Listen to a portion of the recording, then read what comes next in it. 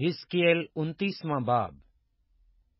دسویں برس کے دسویں مہینے کی بارہویں تاریخ کو خداوند کا کلام مجھ پر نازل ہوا کہ اے آدم زاد تو شاہ مصر فراؤن کے خلاف ہو اور اس کے اور تمام ملک مصر کے خلاف نبوت کر، کلام کر اور کہ خداوند خدا یوں فرماتا ہے کہ دیکھ شاہ مصر فراؤن میں تیرا مخالف ہوں۔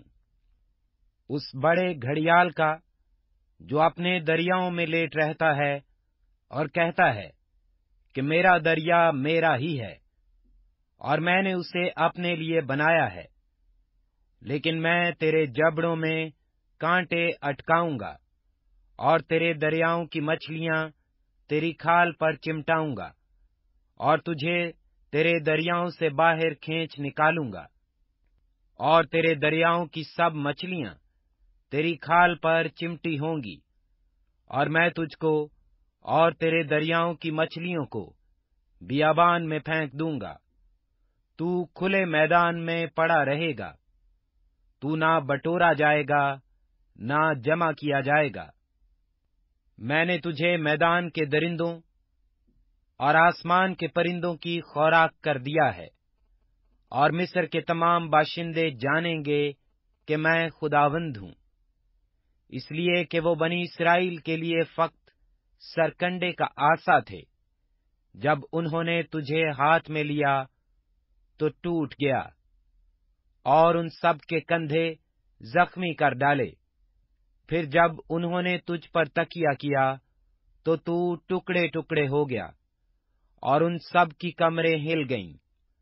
اس لیے خداوند خدا یوں فرماتا ہے کہ دیکھ میں ایک تلوار تجھ پر لاؤں گا اور تجھ میں انسان اور حیوان کو کاٹ ڈالوں گا اور ملک مصر اجاڑ اور ویران ہو جائے گا اور وہ جانیں گے کہ میں خداوند ہوں۔ چونکہ اس نے کہا ہے کہ دریا میرا ہی ہے اور میں نے ہی اسے بنایا ہے۔ اس لیے دیکھ، میں تیرا اور تیرے دریاؤں کا مخالف ہوں۔ اور ملک مصر کو مجدال سے اسوان، بلکہ کوش کی سرحد تک محض ویران اور اجاڑ کر دوں گا۔ کسی انسان کا پاؤں ادھر نہ پڑے گا اور نہ اس میں کسی حیوان کے پاؤں کا گزر ہوگا، کیونکہ وہ چالیس برس تک آباد نہ ہوگا۔ اور میں ویران ملکوں کے ساتھ ملک مصر کو ویران کروں گا۔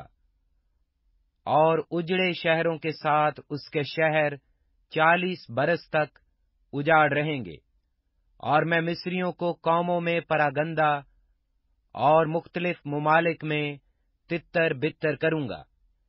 کیونکہ خداوند خدا یوں فرماتا ہے کہ چالیس برس کے آخر میں میں مصریوں کو ان قوموں کے درمیان سے، جہاں وہ پراگندہ ہوئے، جمع کروں گا، اور میں مصر کے اسیروں کو واپس لاؤں گا، اور ان کو فتروس کی زمین ان کے وطن میں واپس پہنچاؤں گا، اور وہ وہاں حقیر مملکت ہوں گے۔ یہ مملکت تمام مملکتوں سے زیادہ حقیر ہوگی، اور پھر قوموں پر اپنے تئیں بلند نہ کرے گی۔